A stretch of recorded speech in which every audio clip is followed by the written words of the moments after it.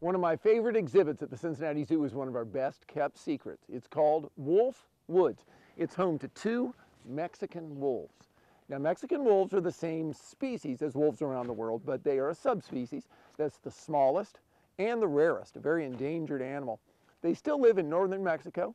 There are big attempts to release them from captivity where they used to live in the mountains that are in southern Arizona and New Mexico.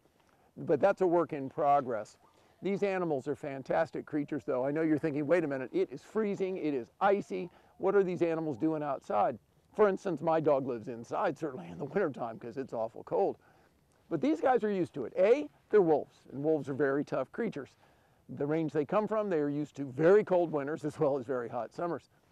But also, they live outside 24-7, 365.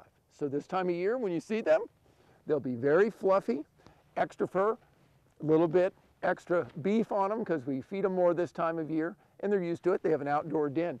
When you come in the summertime, they look a little leaner, look more like a coyote, but it's the exact same animal. So these guys are endangered, but there are works to breed them in captivity, to release those, and to try to protect them in the range they're in. So hopefully there will be wolves, not just up in the northern Rockies and in Canada, but also down in Mexico for centuries to come. Next time you come to the zoo, make sure you check out Wolf Woods. I'm Thane Maynard.